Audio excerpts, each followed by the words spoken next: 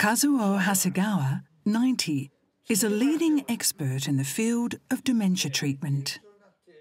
Two years ago, he announced that he too was suffering from dementia.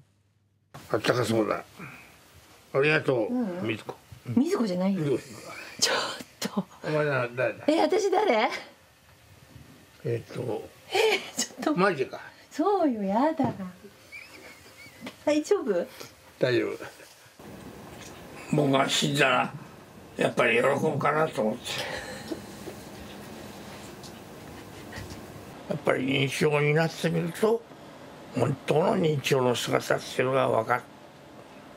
We'll hear from a man who's battling the disease as an expert and a patient.